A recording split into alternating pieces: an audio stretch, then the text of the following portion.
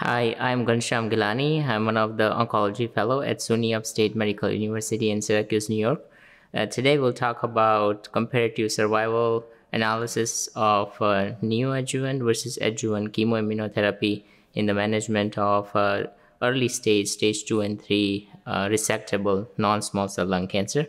Um, so the management uh, going back uh, for early stage lung cancer is uh, surgical resection, and that typically follows with some sort of systemic therapy. So far, for two decades, we have a data from LACE meta-analysis which shows uh, the adjuvant systemic therapy with four cycles shows uh, significant benefits in regards to progression-free survival and overall survival.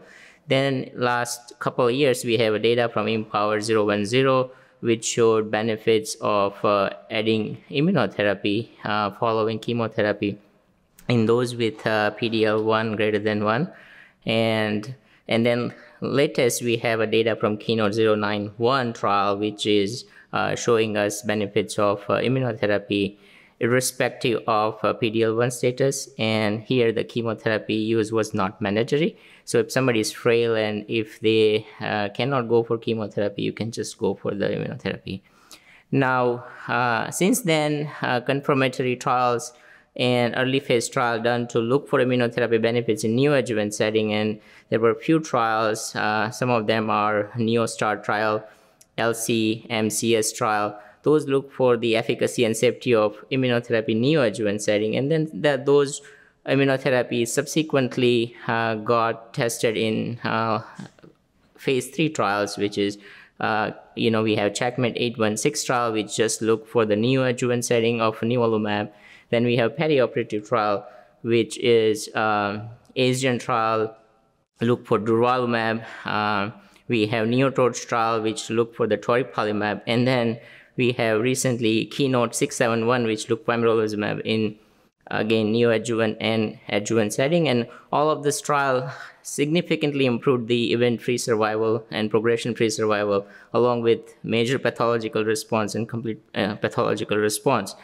So that leads me to do analysis to see that because we do not have any head-to-head comparisons of neoadjuvant chemoimmuno versus adjuvant chemoimmunotherapy, and our abstract focus with the retrospective analysis from NCDB, and we reviewed all patients, about 2 million total patients, and we had among those 27,000, we had, um, you know, uh, treatment-related informations after uh, extracting those patients uh, with exclusion and inclusion criteria. We removed patients who had uh, non uh, stage two and three cancers, and we also removed uh, those patients who had previous radiation use and also those who had other uh, cancer diagnosis in their lifetime.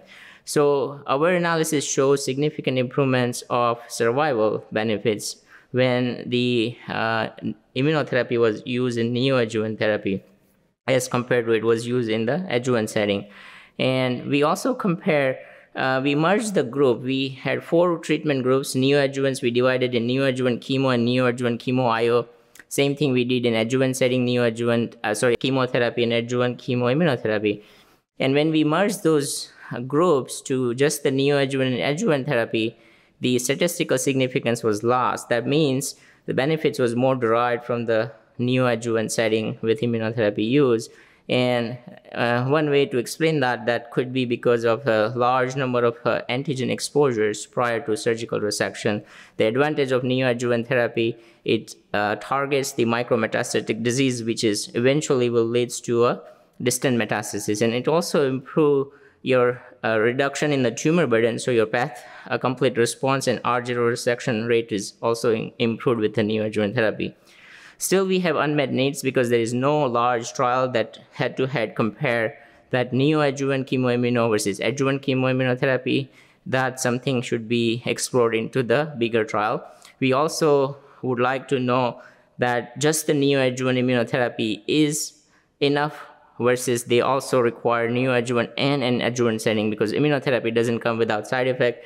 So if we have a comparison data of neoadjuvant versus perioperative immunotherapy in this setting, that will help clinicians to decide which way to go for uh, systemic therapy options. And it also prevents the cost constraints and also the side effects from immunotherapy.